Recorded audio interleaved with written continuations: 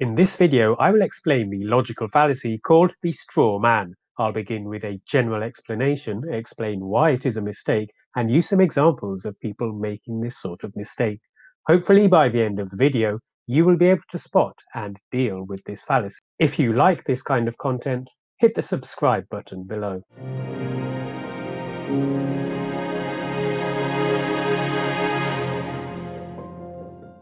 Fallacies are a mistake in how we think. The straw man fallacy typically occurs in a debate or discussion with multiple people. It happens when one person mischaracterizes another's argument.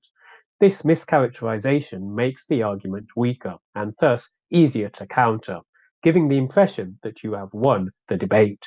The name comes from medieval times, where a man would practice their swordsmanship by attacking a straw man. Useful practice but of course, this straw man has no ability to defend itself, let alone to attack the man. It is just a weak substitute for a real life enemy. So it would be foolish to think that by defeating the straw man, he has defeated his enemy, because the two are very different.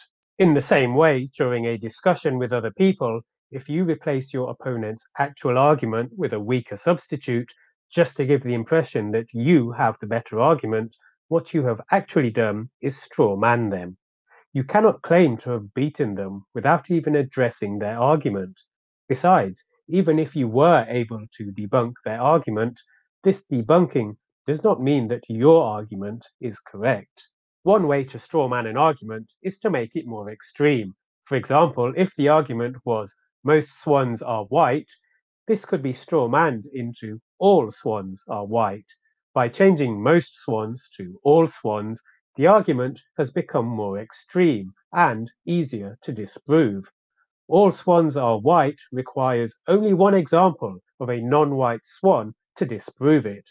However, to disprove the original argument requires much more work. I think that is why the straw man technique is so attractive.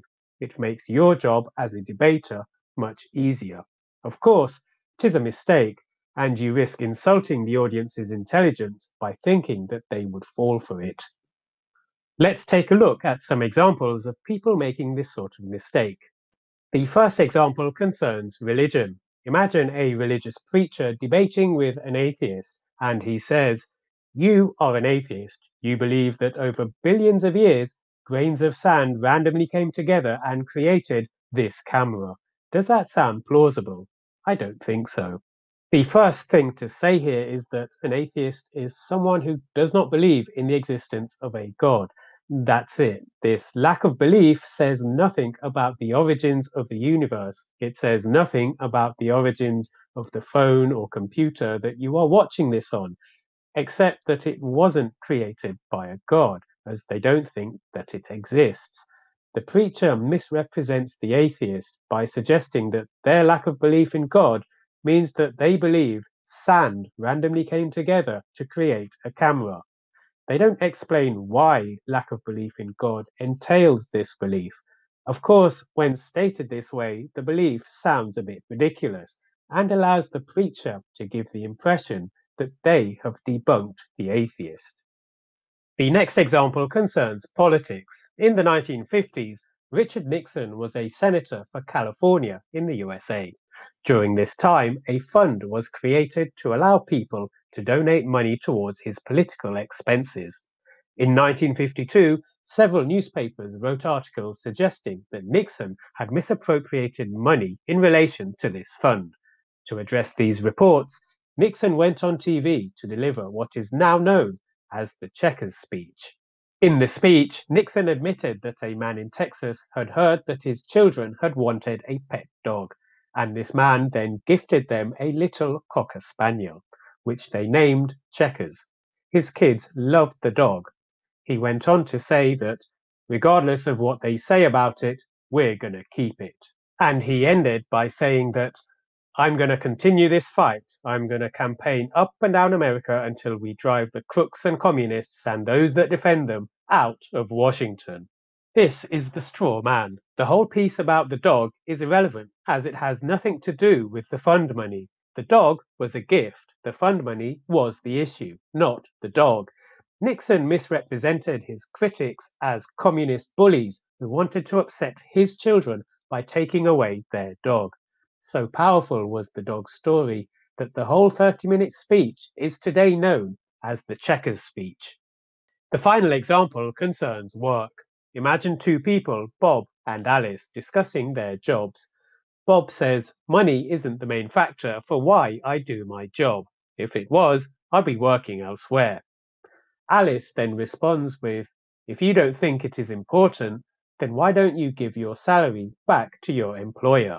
Alice has strawmanned Bob's position by suggesting that money plays no role at all in Bob's job.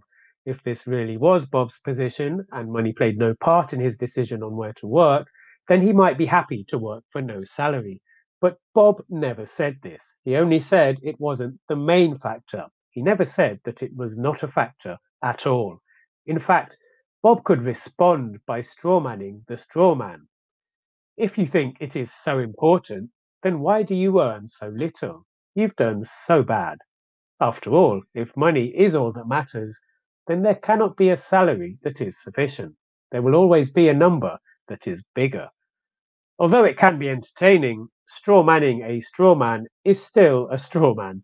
It's a mistake, and you are better off using a stronger argument instead. When you see this happen, politely point out the mistake. It is possible that the other person has simply misheard or misunderstood you. Take the opportunity to put the records straight.